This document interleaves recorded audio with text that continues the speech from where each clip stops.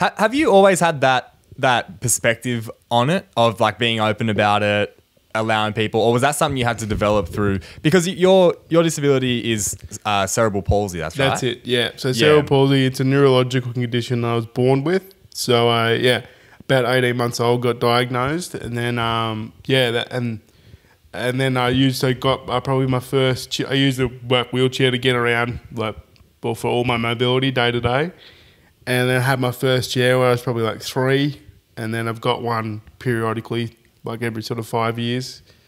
But yeah, like um, I think yeah, I think I put a lot of it down to my family, parents, and and siblings. That just sort of they just threw me in and and did it, and I was never left behind by my family. Like you know, and and not saying it's like, like there are a lot of families out there that put family members in respite for disability care or whatever, it's completely fine. But I didn't. I was all like I said, all the, I hated camping, but I feel like my parents gave me the opportunity to hate camping because they took me on the camping trips and they took me on the holidays. So they could have easily said, "Oh no, we'll go camping, but we'll leave you at home with grandparents or aunties and uncles or in some sort of care." But no, no, just come on the holiday. And like I said, they gave me the opportunity to hate camping. So I am, in a funny, the irony is I'm thankful that I had those experience to know what I because the worst the worst thing you could say I think to me and I've had this before is when I've had people say I couldn't go somewhere say a nightclub like nightclubs uh, and I'd have people I'd have mates go ah they go oh, we're going to this nightclub and I'm like I can't get up there and they're like oh okay well you're not missing out on much it's not that good of a place it's like no no I want to know if something's shit mm. I want to make that decision for myself so that's what bothered me, sort of. And as you said, in terms of developing it, I reckon I was probably early 20s where I let a lot of that sort of angst and anger and frustration go about the world and about people, about their attitudes towards disability. And instead of going, well, it's all their fault, I just sort of let it go and I went, well, okay, well, what can I do in my own little world to make it better or how do I make myself feel better about it? So, yeah, I was probably like 20, after I finished uni, so 21, 22, started to work through some of that and hmm. just let it go. Oh. Just let a lot of shit go. Yeah. yeah. I mean, I mean, I remember carrying you up the stairs at the Grand Hotel plenty of times. We had Yeah. a blast. I think I might have Yeah. dropped you one, once or twice, but sorry Yeah. about that. But yeah. Oh, mate. Yeah, but that's the thing. Like I and I think I had no no shame really back then either. Like I was like, but I think sometimes I, on reflection of that, I probably overcompensated like socially and like I was, you know, as I said, be, like drinking and have, I, I'd put myself.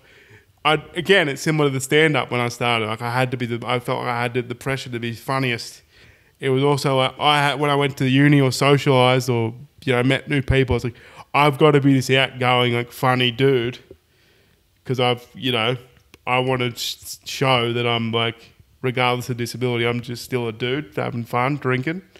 Whereas probably in my heart of hearts, I'm probably a bit more introverted, and probably pro- probably like a bit of you know my own space more, and probably a bit more chill. But back then, I was like, I've got to be up and about because I've got to. Because if I'm not, then they may not ask me out the next time, or they may not. I might be for, for like they might just go, ah, he's a weird. He doesn't say much, so we won't. And then I end up sort of sitting in your in my room for weeks at a time. yeah, Um, and you don't so, want people but- to.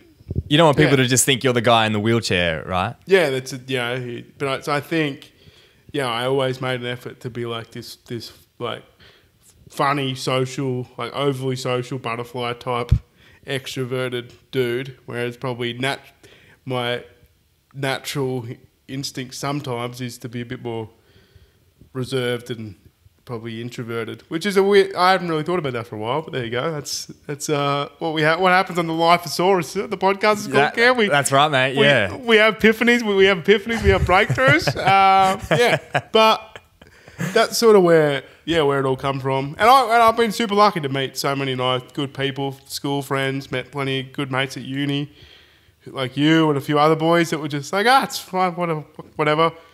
Um, so yeah, I always, but yeah, made made the effort to to just be, and I think that comes from my parent too. They were like, you you know, they never forced anything on me. They were like, you know, just get involved. Like they encouraged me to move away to uni. They said, get out of here, leave that, leave the house, leave Albury, get to like go away.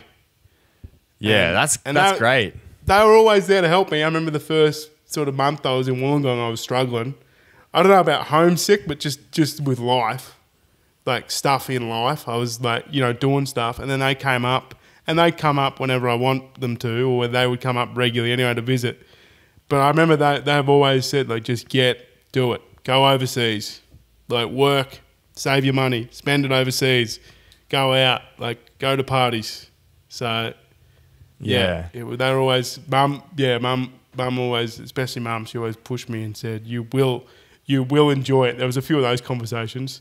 You are going, and you will enjoy it. you will have fun. yeah. No wonder you're not a bloody introvert anymore. Yeah. You're forced out of it.